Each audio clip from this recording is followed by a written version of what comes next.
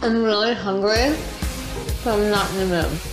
Hey everyone, so I am back again and today I am filming a really glitzy emerald smoky eye. I've got all inspired since watching one of my favourite films, The Wizard of Oz, and thought how amazing it would be to do kind of an intense emerald smoky eye with kind of some black in there as well just to darken it up a little bit.